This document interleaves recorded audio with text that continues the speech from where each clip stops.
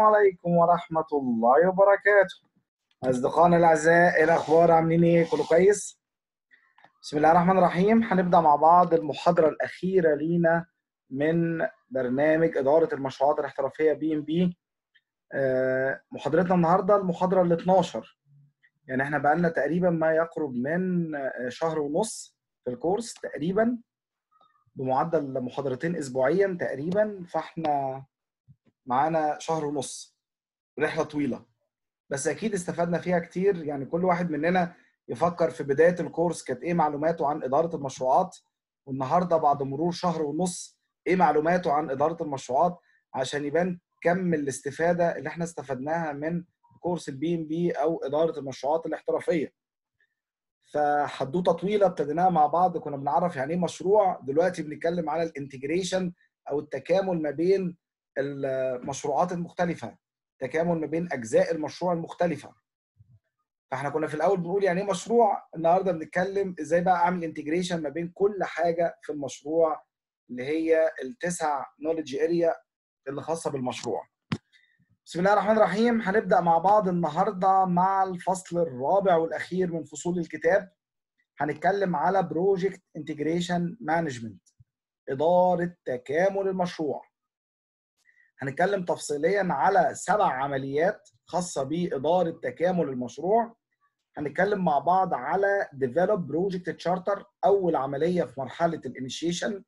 وطبعا سمعنا عنها كتير ال project charter إحنا بقى نتكلم على العملية اللي بتطلع ال project charter يعني إحنا طول الكورس عمالين نقول project charter project charter النهارده هنتكلم بقى على العملية اللي بتطلع ال project charter develop project charter برضو نفس القصة. إحنا طول المشروع بنتكلم على project management plan هنتكلم النهارده بقى على العملية اللي بتطلع ال project management plan develop project management plan فعندنا عملية واحدة في مرحلة الانيشيشن عندنا عملية واحدة في مرحلة ال planning عندنا عمليتين في مرحلة ال execution direct and manage project work إزاي بقى ادير المشروع إزاي اطلع deliverables من المشروع.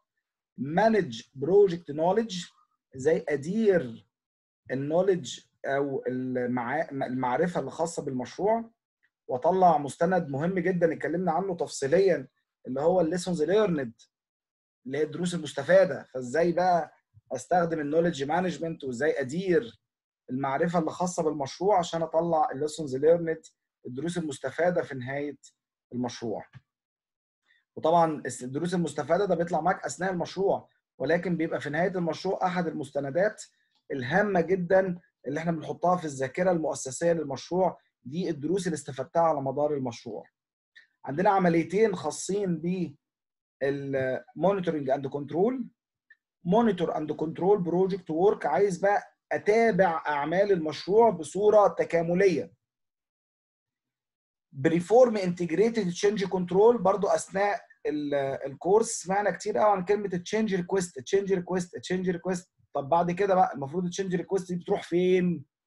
هنتكلم على perform integrated change control في عملية كاملة عشان خاطر ال change management عشان خاطر ال change management وأخيرا في مرحلة الإغلاق عندنا عملية واحدة فقط close project يبقى تاني عندنا عملية واحدة في الإنيشيشن عمليتين في ال planning عمليتين عملية واحدة في ال planning عمليتين في ال execution عمليتين في ال monitoring and control وعملية واحدة في ال closing. سبع عمليات لل integration.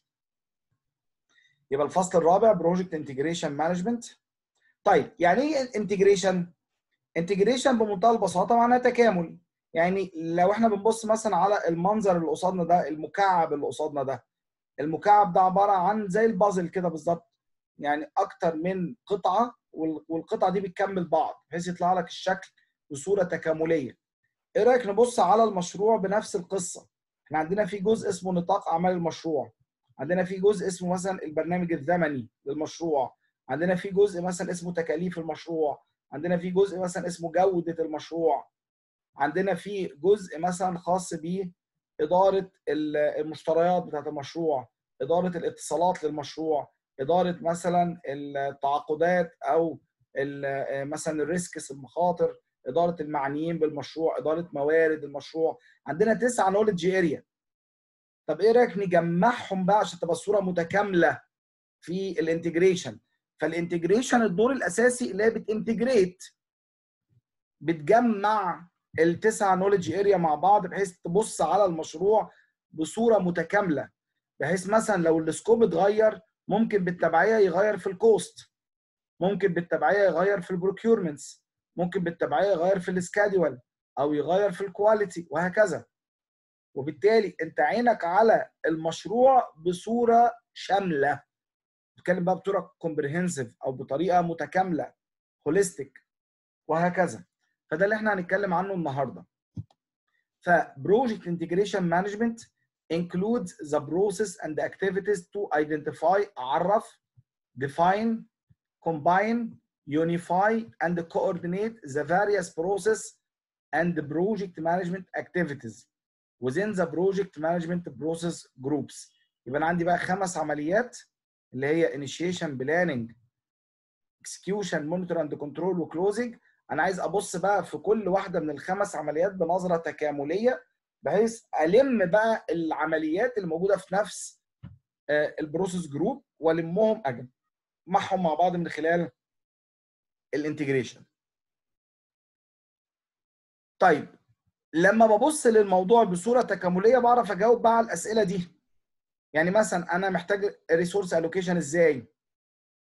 أحيانا محتاج أعمل توازن ما بين أكتر من perspective أو أكتر من knowledge area يعني مثلا عايز أعمل توازن ما بين ال scope وما بين ال cost وما بين ال schedule وبالتالي لازم أبص الموضوع بنظرة تكاملية. Examining any alternatives approaches. وبرده لو في أي بدائل بنعرف ناخد أنهي بديل على حساب البديل الثاني فلازم أبص كل بديل ال pros وال cons أو المميزات والعيوب لكل بديل.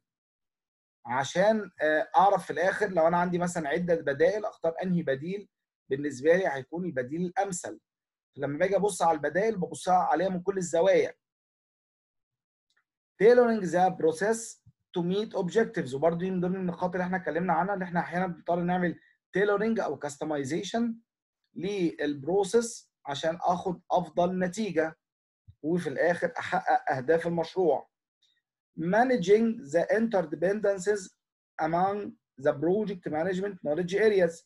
وبرضه لو في علاقات في اعتمادات في dependencies في relationships ما بين different knowledge areas لازم أبص على الموضوع بصورة تكاملية. فدي الفكرة بمنتهى البساطة بتاعت ال integration واتكلمنا عنها باستفاضة أثناء الكورس.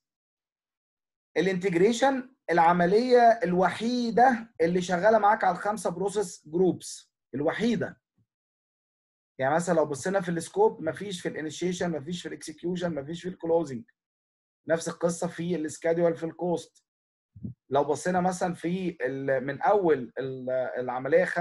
ال knowledge area 5 لغاية ال knowledge area 12 مفيش في الإنيشيشن ومفيش في ال closing. العملية ال 13 ال knowledge area 13 project stakeholder management موجودة في الإنيشيشن والبلاننج والاكسكيوشن والمونيتورنج اند كنترول بس مش موجودة في ال closing فالوحيدة اللي معاك في الخمسة process groups الوحيدة اللي هي ال integration معاك في ال initiation develop project charter معانا في ال planning develop project management plan معانا في ال execution direct and manage project work و manage project knowledge معانا في ال monitoring and control monitor and control project work perform integrated change control وأخيرا close project أو إغلاق المشروع. وإغلاق المشروع زي ما أنتم شايفين العملية الوحيدة اللي في ال closing فدي مهمة جدا نبقى إحنا عارفينها عشان خاطر الامتحان. طيب يبقى دول السبع عمليات بتوع الخمس مجموعات عمل على مر عمر المشروع. مين عنده سؤال؟ حد عنده سؤال لغاية دلوقتي؟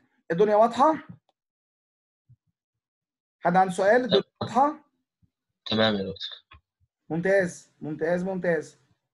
طيب يبقى إحنا دلوقتي بنتكلم على إيه؟ على ال integration. يعني إيه integration؟ تكامل. إزاي أجمع بقى كل حاجة عشان آه يعني أبص لها بنظرة شمولية أو بنظرة متكاملة.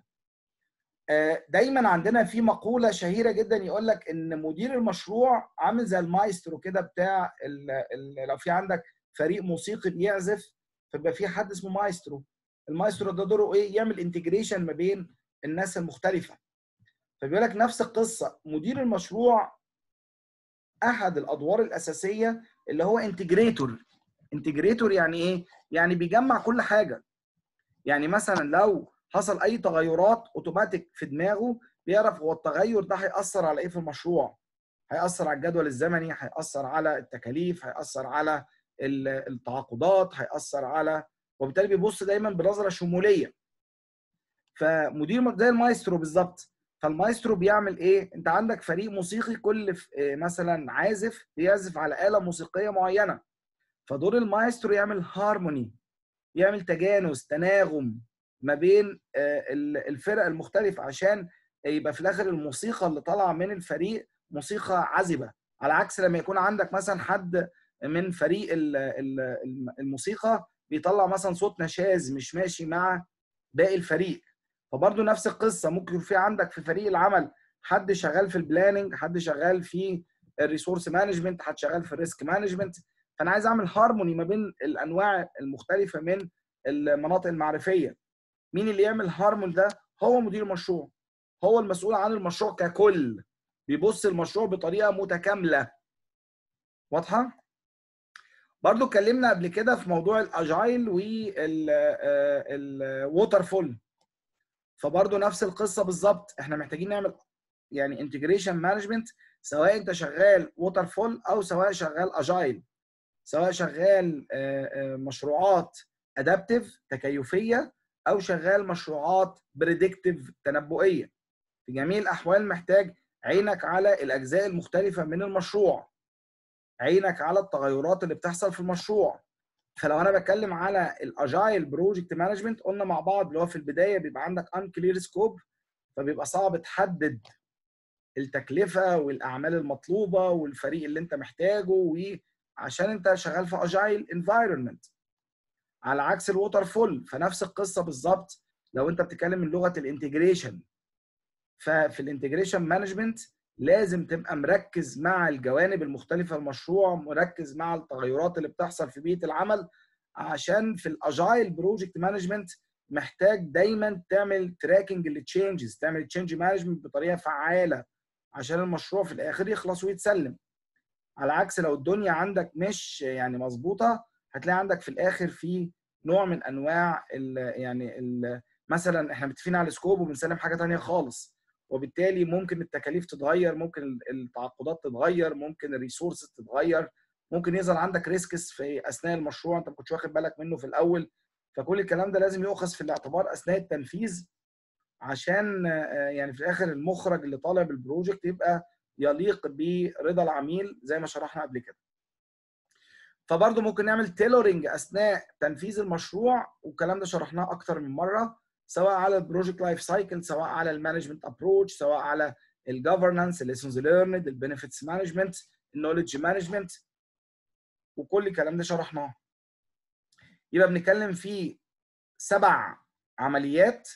عملية في الانيشيشن عملية في ال planning عمليتين في ال execution عمليتين في ال monitoring and controlling وعملية واحدة فقط في ال closing نمسك بقى مع بعض السبع عمليات. على فكرة محاضرة النهارده هي هنقول كلام كتير ولكن هي سهلة جدا جدا. عشان كل حاجة هنقولها النهارده إحنا درسناها قبل كده. إحنا النهارده بنجمع بس الدنيا. فأنت ال integration لو كنا شرحناه في الأول كنت هتلاقيه صعب. بس لما بتشرحه في الآخر بتلاقيه سهل جدا جدا جدا. ليه؟ عشان كل حاجة هنقولها إحنا خلاص شرحناها. لما تيجي نبص كده بنظرة سريعة. بصوا معايا بنظرة سريعة بس من غير ما ندخل في التفاصيل. ال project charter أبسط حاجة. ال business documents اتكلمنا عنها ال agreements اتكلمنا عنها ال EEF ال OPA اتكلمنا عن كل دول. ال expert judgment اتكلمنا عنها ال data gathering اتكلمنا عنها ال interpersonal team skills ال meeting كل ده قلناه. ال assumption log سجل الفرضيات ال project charter ميثاق المشروع. كده خلصنا أول عملية. بسيطة خالص ما فيهاش حاجة. طب أنا عايز أطلع ال project management plan برضو نفس القصة. ال project charter اللي أنا لسه طالع منه. من المرحلة الأولى هيدخل معايا كمدخل. ال output from other process فاكرين اللي إحنا كنا بنتكلم عنه؟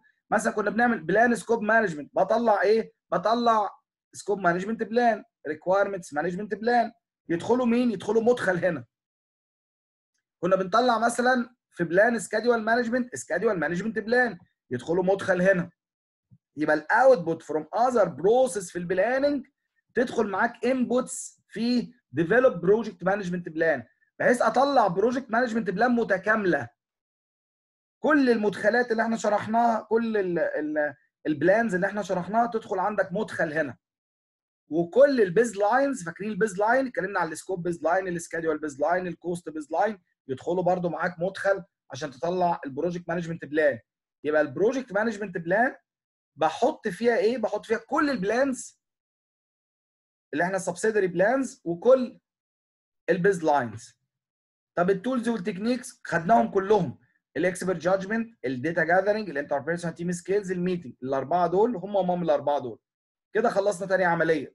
طبعا هنقراها بس أنا بقول لكم خلصناها بسرعة. طيب ال execution direct and manage project work إيه المخرج بتاعها؟ ال deliverable نفسه. يعني أثناء المشروع بيطلع عندك deliverables اللي هي التسليمات. فالتسليمات تطلع منين؟ من direct and manage project work إحنا بندير بقى المشروع بصفة تكاملية. بندير المشروع كله على بعضه. واضحة؟ فبطلع ال deliverable بقى. وفاكرين لما كنا بنتكلم في ال monitoring and control قلنا بيدخل لي work performance data بحولها ل work performance information طب ال work performance data نفسها بتخرج منين؟ بتخرج برضه من عملية direct and manage project work يبقى direct and manage project work بتطلع لك deliverable بتطلع لك work performance data وبتطلع لك كمان issue log فاكرين أثناء الشرح كنا بنقول issue log سجل الشكاوى سجل المشاكل سجل ال issues طب السجل ده نفسه بيظهر فين؟ ال issue log نفسه بيظهر فين؟ بيظهر في ال direct and manage project work وهكذا. هنعرف بقى الكلام ده بالتفصيل. فهتلاقي كل ال tools وال techniques كل المدخلات والمخرجات كل الكلام ده إحنا شرحناه. يعني مفيش جديد. يعني ال integration management اعتبرها مراجعة لكل اللي فات. بس أنا بجمع كل حاجة وبطلع في الآخر في صيغة deliverable في صورة project charter في صورة project management plan في صورة lessons learned وهكذا. حد مش فاهم؟ نمسك أول عملية بالتفصيل. حد مش فاهم؟ حد عنده سؤال؟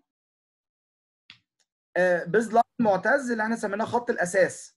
فال scope baseline لما جينا شرحنا ال scope لو أنتم فاكرين قلنا آه في create WBS عملية ال create WBS قلنا بيطلع لي ال scope baseline. ال scope baseline عبارة عن ثلاث حاجات WBS اللي هي work breakdown structure و WBS dictionary و scope statement ولما كنا بنشرح ال develop schedule طلعنا برضو schedule baseline. لما كنا بنشرح ال determine budget طلعنا ال cost baseline. فبجمع بقى ال baselines دي اللي هي خط الأساس أو ال baselines وبحطها فين؟ بحطها داخل ال project management plan. واضح كده معتز؟ متابع معانا؟ أيوه يا دكتور تمام تسلم. أنا كان قصدي إن هي ال baseline بيتحط في ال في ال project management plan excellent برافو عليك. ممتاز.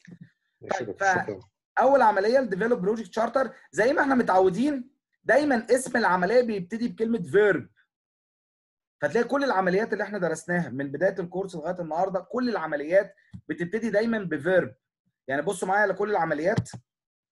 على سبيل المثال ادي العمليات بتاعتنا الجدول اللطيف الظريف اللي إحنا حفظناه من كتر ما شرحناه.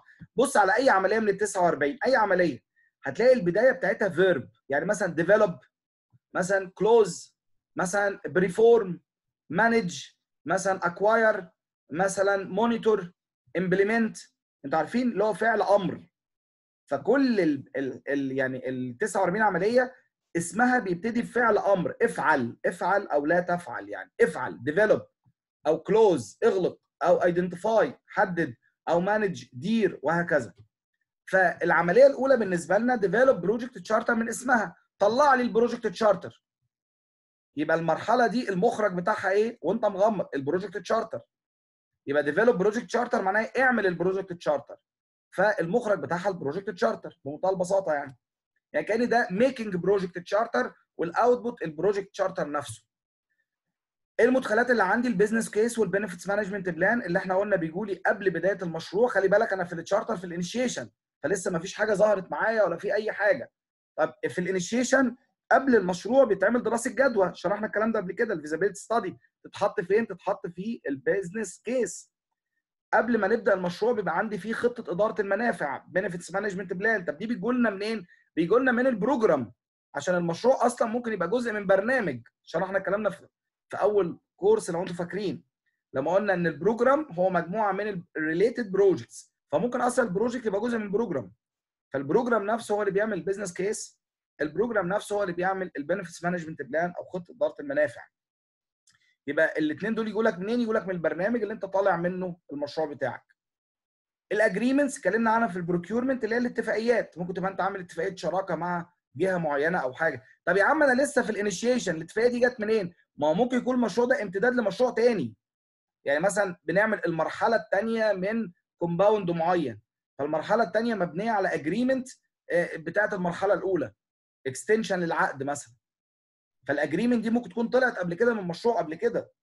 أو agreement مثلا ما بين وزارة كذا ووزارة كذا عشان نفعل كذا. وبالتالي ممكن يكون في بروتوكول تعاون ما بين مثلا وزارة X ووزارة Y وعلى أساس كده ظهر المشروع. فالمشروع ده يعني اتولد من اتفاقية التعاون ما بين جهتين. فممكن تكون ال agreement دي ظهر من الأول من قبل حتى الانيشيشن بتاع المشروع. ال EEF وال OPA إيه المخرجات؟ اتفضل. لو كان لو كان لسه جديد خالص ال- مفيش agreement أعمل skip لل agreements خالص؟ بالظبط آه. ما هو هنا بيحط لك المدخلات اللي أنت احتمال تحتاجها وأنت بتعمل مشروعات. أنت بتعمل project charter فأنت ممكن يكون ما فيش agreement خلاص. يعني يبقى ما فيش عندي agreement يبقى أنا عندي business documents وعندي ال EEF اللي هي ال enterprise environmental factors وعندي ال organizational process assets وما عنديش agreement ده لو ما فيش في المشروع بتاعي agreement يعني هديكم مثلا مثال. عندنا في اتفاقية موقعة ما بين الحكومة المصرية وما بين شركة مايكروسوفت العالمية. فأنا ممكن مثلا أعمل مشروع من خلال الاتفاقية دي. فأنا ممكن يكون عندي من ضمن المدخلات ال agreement نفسها اللي ما بين آه، الحكومة ممثلة مثلا في وزارة الاتصالات موقعة مع مين؟ مع شركة مايكروسوفت. على سبيل المثال يعني. فأنت ممكن عندك ال agreement دي موجودة قبل كده ات- اتوقعت مثلا من سنة من سنتين. ولكن هي داخلة معايا من ضمن المدخلات عشان أنا وأنا بصيغ ال project charter ه refer ليها. في إطار مثلا التعاون ما بين شركة كذا وشركة كذا قررنا إن إحنا نعمل المشروع الفلاني وأبتدي أكتب ال description فأنت بتشير لل agreement طيب التولز والتكنيكس الاكسبرت جادجمنت داتا جاذرنج البرين ستورمنج الفوكس جروب الانترفيوز الكونفليكت مانجمنت الفاسيليتيشن الميتنج مانجمنت والميتنجز كل دول خدناهم. مفيش حاجة ما خدناهاش. ال output سجل الفرضيات ال assumption log طب يعني إيه فرضية؟ أنت بتفترض حاجة معينة. الافتراض ده ممكن يبقى صح أو غلط. عشان كده لما جينا اتكلمنا في ال risk قلنا أي فرضية قصادها risk. أنا بفترض مثلا إن إحنا ندي المحاضرة النهارده الأربع. طب افرض النار النور قطع افرض الكهرباء قطعت افرض الإنترنت فصل. في risk ان إحنا ما نكملش المحاضرة وبالتالي هنأجل المحاضرة مثلا لبكرة مثلا يعني. وبالتالي ان أي فرضية أنت بتفترضها قصادها risk. أنا بفترض إن أنا لما أخلص العميل هيستلم ويدفع المستحقات. طب ماذا لو خلصت والعميل ما استلمش. ماذا لو ليك شيك مش عارف تستحق يعني تلم فلوسك. وبالتالي لازم دايما تبص آه، للموضوع بنظرة تفاؤلية وبرضه أحيانا بنظرة تشاؤمية عشان خاطر تحط ال best scenarios وال worst scenarios اللي هي اللي هي السيناريوهات السليمة أو الجيدة والسيناريوهات كمان للأسف السيئة. معايا؟ فأي فرض قصاده risk زي ما شرحنا. طيب يبقى ال develop project charter هتاخد ال business documents من آه، تاخد ال business case وال benefits وال agreement من ال business documents عندي ال EEF وال OPA هتطلع لي ال project charter ال project charter نفسه بقى كمخرج هيدخل مدخل لعمليات كتيرة. ففي عمليات كتيرة بتاخد ال project charter على سبيل المثال ال ال ال جوه ال integration ال develop اعمل zoom بس عشان تبان ال develop project management plan محتاجة ال project charter كمدخل. ال close project or phase محتاجة ال project charter مدخل. ال plan scope management محتاجة لل charter ال collect requirements محتاجة للتشارتر ال define scope محتاجة لل charter ال plan schedule manage وبالتالي هتلاقي في عمليات كتيرة. التشارتر ده بالنسبة لهم input زي ما أنتم شايفين. واضحة؟ طيب اتكلمنا مع بعض يعني إيه agreement اتكلمنا على ال EEF اتكلمنا على ال OPA يعني إيه expert judgment يعني حكم الخبراء. قلنا بقعد مع ال subject matter expert اللي هم الناس المتخصصة الشطار الكلام ده وابتدي أجمع منهم آه، آه، خبرات أثناء ما أنا يعني مثلا بعمل تشارتر وما عنديش خبرة كافية فبقعد مع ال subject matter expert يعني إيه brainstorming يعني عصف ذهني. يعني بنطلع فكرة جديدة بنحلل فكرة موجودة بنحاول نفكر out of the box بطريقة يعني غير نمطية. فده معنى كلمة brainstorming عصف ذهني جلسات عصف ذهني. يعني إيه focus group focus group يعني زي كده مجموعات عمل. اللي أنا بجمع ال stakeholders مع ال subject matter expert عشان خاطر نناقش موضوع معين. يعني مثلا عايزين نعمل project وما عندناش خبرة كافية فبجيب ال ال يعني ال subject matter expert الناس المتميزة الشطار وقعدهم مع ال stakeholders قعدهم مع العميل قعدهم مع ال sponsor ونبني نعمل كده جلسة عمل نطلع من خلالها نشوف إيه النقاط اللي إحنا اتفقنا عليها إيه التوصيات بتاعة اللجنة إيه الحاجات اللي إحنا مش متفقين عليها إيه الاختلافات. فده بسميها focus group interviews طبعا مقابلات الشخصية وممكن تبقى interview يعني 1 to 1 أو ممكن يبقى 1 to many أو ممكن يبقى interview من خلال التليفون interview من خلال face to face أو من interview من خلال الانترنت بنعمل Zoom meeting زي ال example بتاعنا ده. فدي كلها أنواع مختلفة ال interviews يعني.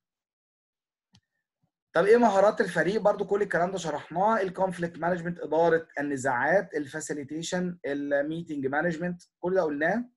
ففي ال conflict management لو أنتوا فاكرين لما جينا شرحنا بالتفصيل قلنا إن في عندك بقى أنواع مختلفة لإدارة النزاعات وحل النزاعات زي مثلا ال collaboration اللي إحنا find solution أو solve the problem زي مثلا ال withdrawal اللي إحنا بننسحب من. من المشكلة فكلمنا على الخمس أنواع اللي هي المواجهة وال... والانسحاب وكلمنا على ال... يعني by force اللي أنا ب... ب... يعني بمشي كلامي وكلمنا على الإثموس وكلمنا يعني أنواع مختلفة اتكلمنا عنها بالتفصيل لو أنتوا فاكرين لما كنا بنتكلم على آه الجزء بتاع ال resource management يعني. المخرج؟ بيطلع عندي وثيقة المشروع ال project charter اللي إحنا بنمثلها كأنها شهادة ميلاد المشروع. يبقى the project charter is document عبارة عن مستند. Issued by the project initiator or sponsor خلي بالك ما قالش project manager ال charter مش ال project manager اللي بي اللي بيصدره. هو قال لك project initiator ال project initiator ده maybe يكون ال PM أو maybe يكون يعني program manager maybe يكون sponsor that formally authorizes بيدي بقى صلاحيات رسمية لل project manager إحنا بنقول إن المشروع اتولد خلاص the existence of a project. And provides وبيمد مدير المشروع project manager with the authority to apply organizational resources to project activities. يبقى أنا بستفيد من ال project charter ان أنا بدي بقى صلاحية لمدير مشروع إن هو يستخدم موارد المؤسسة عشان يدير المشروع. فده أهمية ال project charter زي بالظبط كده شهادة الميلاد زي شهادة الجيش زي البطاقة الشخصية. دي كلها بنسميها formal document فأنا بطلع وثيقة رسمية. نتيجة الوثيقة دي بعمل إيه؟ إن صاحب المشروع أو ال owner مثلا أو sponsor بيدي صلاحيات لل project manager اللي هو يستغل إمكانيات المؤسسة أو ال resources المختلفة اللي موجودة عشان ينجح المشروع. فهو ده اللي إحنا بنتكلم عنه as project charter سجل الفرضيات زي ما إحنا قلنا بيبقى في عندك أحيانا high level assumptions بسجلها في سجل الفرضيات وسجل الفرضيات ده بنقعد ن update أو نحدث فيه طول ما أنت شغال في المشروع يعني. طيب طلعنا ال project charter فرجتكم طبعا على ال template قبل كده. ال project charter بيتكتب فيه إيه؟ بيتكتب فيه الغرض من المشروع بيتكتب فيه ال high level requirements بيتكتب فيه ال overall project risk بيتكتب فيه ال main milestone بيمضي فيه مدير المشروع بيمضي فيه. إحنا شفنا ال template يعني بتاعت التشارتر قبل كده. لو أنتم فاكرين يعني. ممكن نبص عليها تاني يعني. ادي ال template بتاعة التشارتر. نبص عليها تاني مع بعض. طبعا كل ال templates أنا already بعتها لكم قبل كده. فده ال template بتاع ال project charter.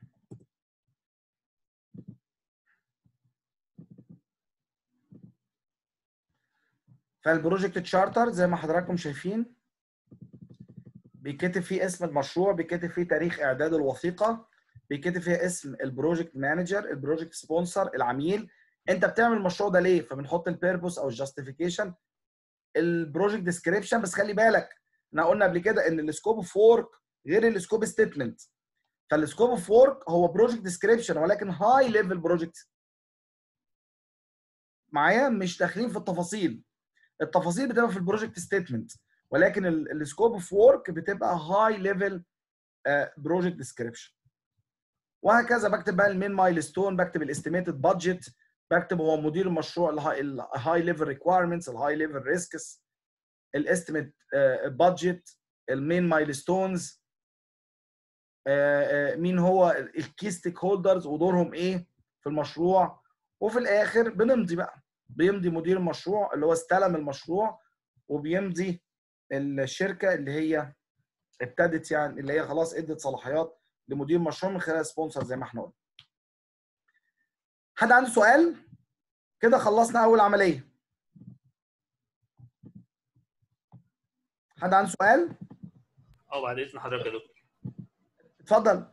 آه، لو سمحت أنا كنت عايز أسأل على ال project charter الجزء اللي هو خاص بال تحت مكتوب ال signature بتاع ال sponsor آه، مظبوط. ف- فأنا بس بس الموضوع ده بي يعني ملخبطني شوية آه، لو أنا بعمل شغل مثلا آه، يعني جالي مشروع مع من مؤسسة خارجية هي المفروض ال sponsor هل إحنا هنا بنتكلم ال sponsor جوه المؤسسة نفسها يمكن سألت حضرتك السؤال ده قبل كده بس برضه مش واضح لي قوي هل ال sponsor المقصود هنا في التشارتر الشخص اللي بيدفع جوه المؤسسة ولا اللي بيمول المشروع بصفة عامة اللي ممكن يكون. خارج المؤسسة فبالتالي. إيه الفرق بينه وبين العقد ه- هقول هقول لحضرتك أنا عندي ال sponsor بنسميها بال- باللغة العربية راعي المشروع الراعي بتاع المشروع. ممكن يكون عندي أكتر من راعي فيكون عندي multiple sponsors أو ممكن يبقى عندي راعي واحد.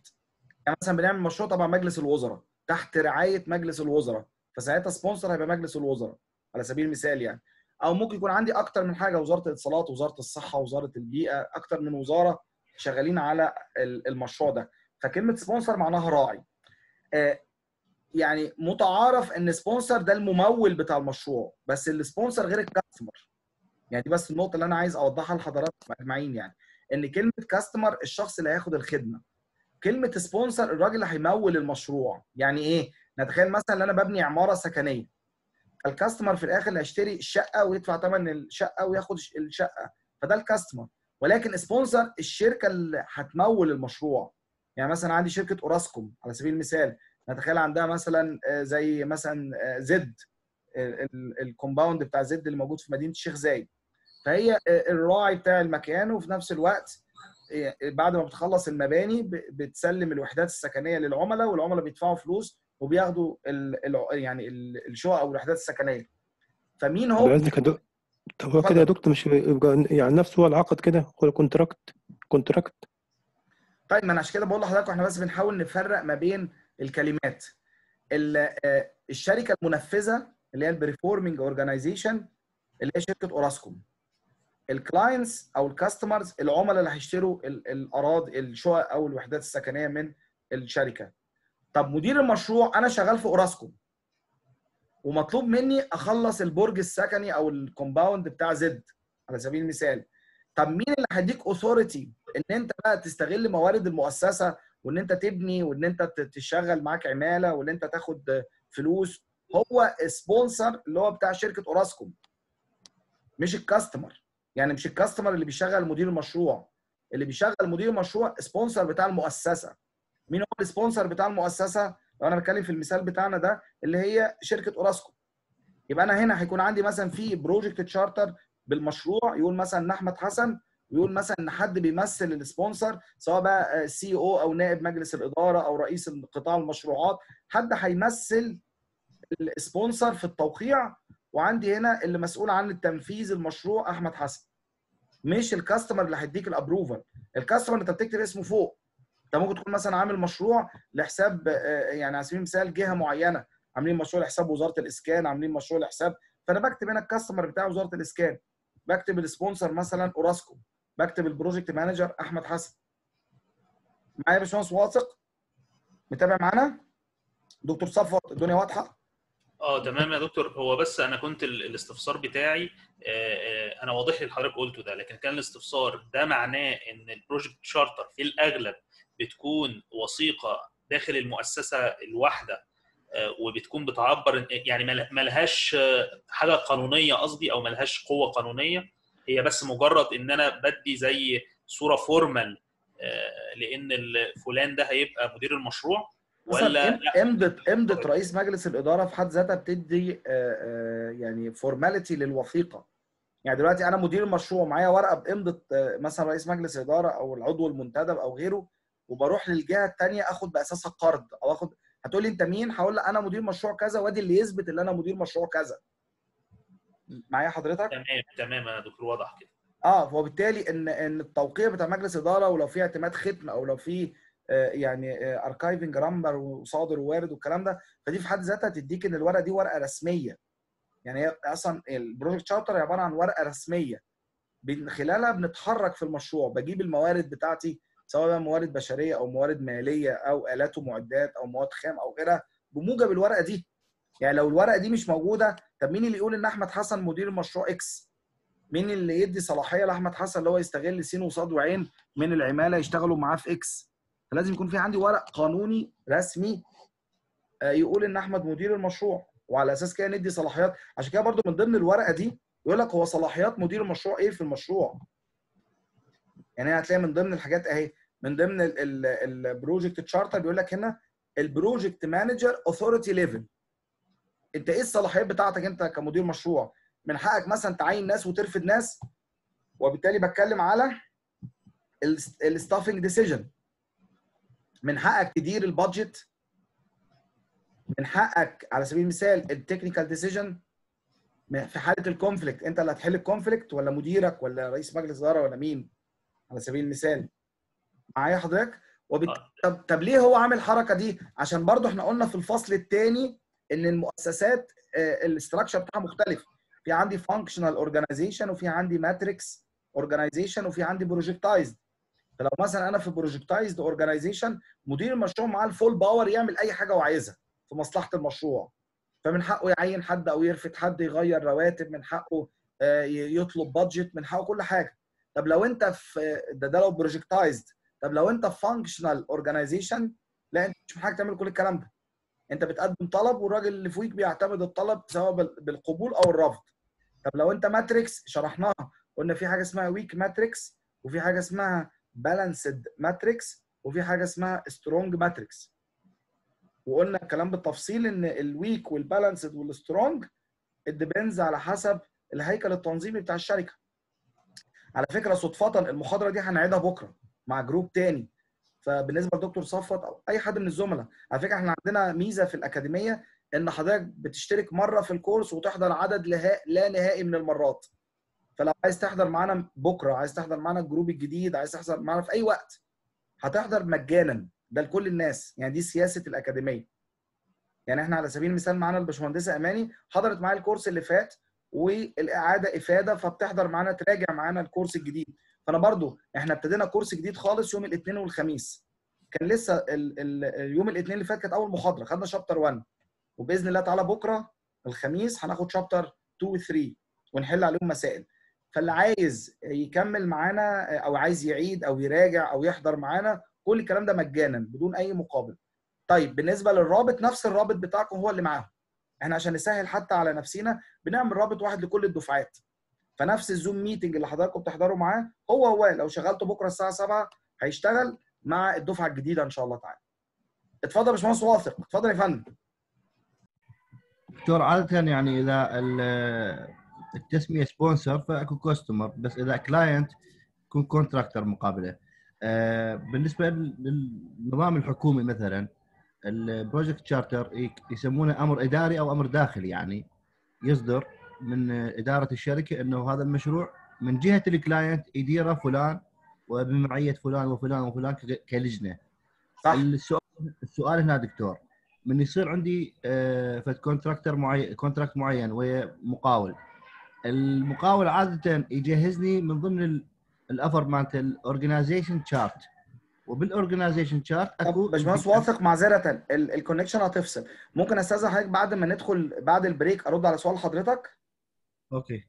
معذره يا باشمهندس واثق أو حضرتك ابعت لنا على الواتس وهرد على حضرتك. okay. طب سريع وبعد ال break نكمل إن شاء الله تعالى. السلام عليكم ورحمة الله وبركاته.